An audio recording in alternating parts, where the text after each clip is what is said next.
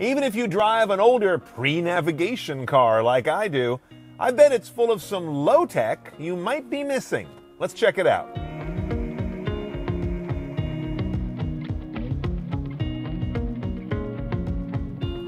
Sun visors that can extend or become double visors.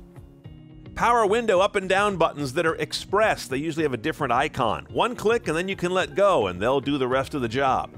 Pinch protection in your power windows. If the car's fairly recent, it should back off when it encounters resistance. And on more recent cars, the power window switch is a lever. You have to pull it up to make the window go up. That's an improvement from some older cars where you had a push to go up. Pets or kids could do that by accident while hanging out the window and get themselves stuck. Ever see a button back in your trunk? That could be a fuel pump cutoff switch. And are you still unlocking your doors to get out from the inside? On most modern cars, just pull the handle. Manual transmission reverse lockouts can range from having to push the shifter down to get to reverse, or pull a little lock up to get to that gear. The door checks on your car probably have multiple positions in between wide open and fully closed. They can be handy in tight parking spots. I assume you know if you've got a car whose rear hatch glass can open separately from the entire hatch. That cryptic little triangle on your gas gauge, that points to the side of the car where the gas cap lives. Handy when you're borrowing an unfamiliar car or renting one.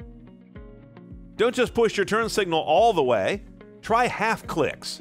That will either flash as long as you hold it down and then release, or will initiate a series of three or five what are called lane change flashes without you having to cancel it manually.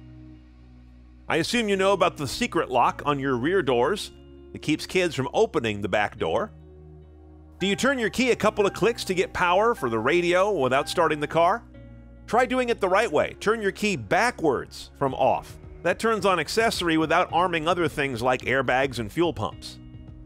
Every car's got various dome light settings. You want to learn those. If you jumpstart your car, it's better to connect the black wire to a ground on the body, not to the ground on the battery. Many late model cars have a special stud for just that. Buttons have concave or convex portions of them for a reason. The concave part usually means down, window down, seat down. The convex part that sticks up means up. The brightness control for your dashboard instrument lights probably has a click at the far edge of travel that also turns on your dome lights. Some nicer cars have a remote key fob where if you press and hold the lock or unlock buttons, it will open or close all the windows. Do you know there's a steel backup key inside of your remote fob in many cases? Your tires have built in indicators, these wear bars in the tread that tell you when it's time to get new ones. In some markets, there are standing lamps on one side of the car. You can light these up on just the side that's exposed to a very skinny street to help keep people from sideswiping you.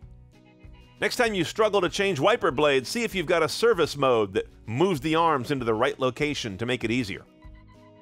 And on certain Porsches, when the battery dies, that also disables the button that electrically opens the front hood that lets you get to the battery. To deal with that idiocy, open the fuse box and you'll find a pull out red terminal that you can use with a battery source you have to provide to jumpstart the front hood unlock motor. Yeah, I don't get it either. Some of you are young enough to never listen to the radio. Then you'll like to know that when you press and hold one of those preset buttons, it memorizes the station you're on. If you're annoyed by your shoulder belt sawing away at your neck, know that most modern cars have height adjustable anchors that can change the angle of that belt coming across you. A lot of power hatchback doors have the ability to set and memorize how far they open to keep from banging into overhead pipes or such in a garage. Sure, almost all these things are in the manual, but who reads that? So while you're adding CarPlay or Android Auto or whatever you're putting in your car, don't forget to also take advantage of those simple things that might be almost as useful, and they're free.